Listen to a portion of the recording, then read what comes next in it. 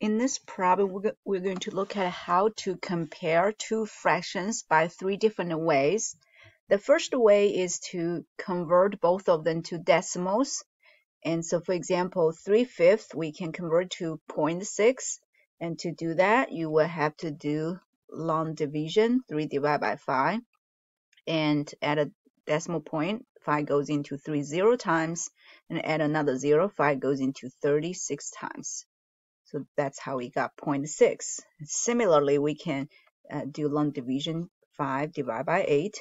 Um, 5 goes 8 goes into 5 zero times, so we add a decimal point, and then 8 goes into 50 six times, and 6 times 8 is 48, and subtract the remainder is 2, and we can add another 0, and 8 goes into 20 two times, and the remainder is 4, add one more zero, bring down, it goes into 45 times. So that's how we convert that to 0.625. And so uh, by comparing these two decimals, we can see 0.625 is bigger. That's why the corresponding fraction 5 8 is bigger. And the next two methods we're going to use are common denominator and a common numerator method. And these two methods are required, so you will be tested on these two methods.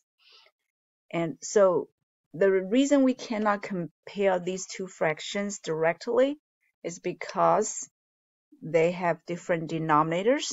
Um, and we can, for fractions, by the definition of fraction, we know the numerator means the number of parts how many slices we have out of a cake. But the denominator tells us the size of the cake, the size of each each uh, part. So um, which is bigger depends on both of them. So we cannot just look at one of the numbers. And also the uh, the the more parts we have, the bigger the fraction is.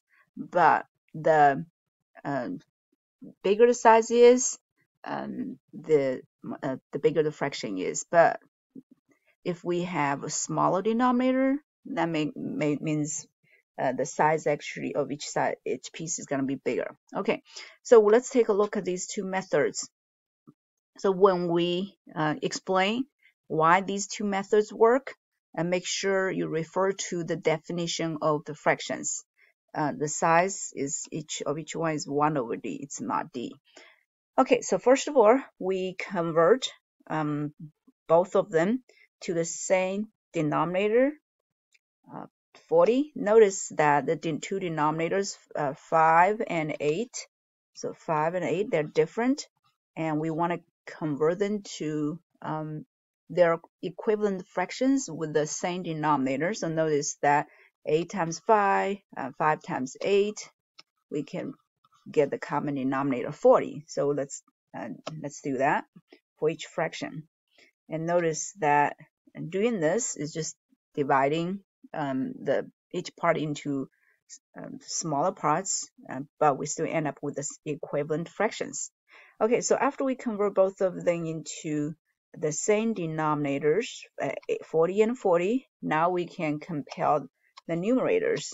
So the denominator 40 guarantees they have the same size. So here, I'm going to write down the explanation a little bit. Why is 25 40th bigger than 24 40th? It's because uh, the first fraction, uh, let me put it uh, here. So that means by the definition of fractions, it has 25 parts, each of size is this each of size.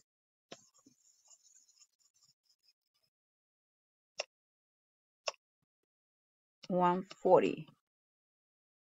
And 2440 means we have 24 parts each of size.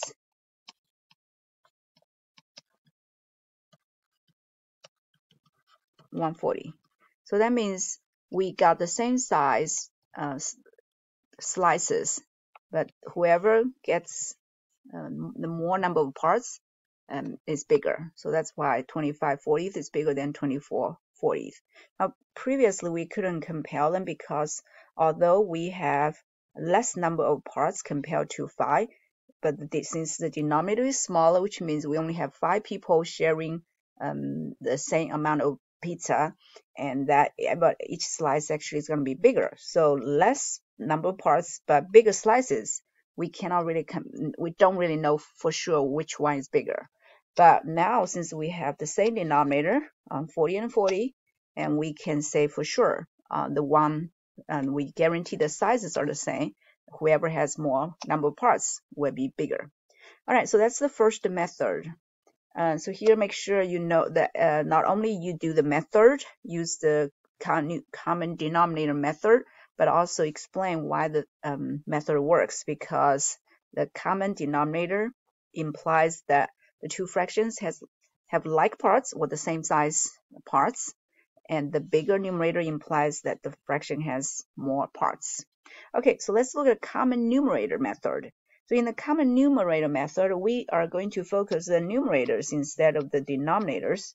When we look at the numerators 3 and 5, and they we can multiply both of them um, by some numbers, for example, 3 times 5, 5 times 3, to reach 15. So that's what we did here, 3 times 5 and 5 times 3. And of course, we always have to make sure we multiply both the numerator and the denominator by the same number.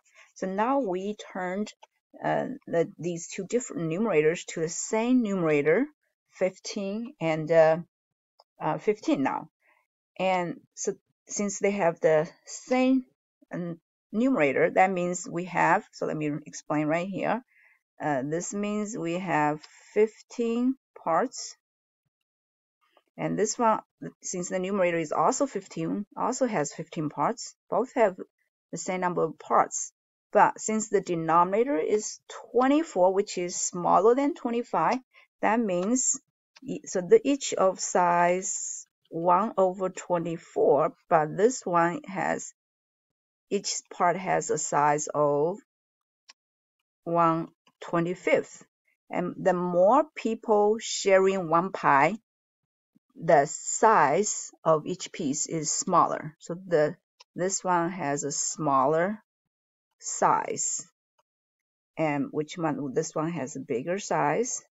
So of course, same number of pieces, but each slice is bigger than the other one. So that makes this uh, fraction bigger. So when we compare the numerators, if they have the same denominators, the numerator is bigger, that implies the fraction is bigger. But when we use the common numerator method, the bigger numerator actually makes the bigger denominator actually uh, implies the a smaller fraction. Okay, so um, the the second method also uh, explain quickly. The common numerator implies that the two fractions have the same number of parts. The smaller denominator implies the fraction has a bigger um, size parts. So every time when you use the method, make sure you compare both of them. So we have to check the number of parts, which one has more, and also which one has bigger size parts.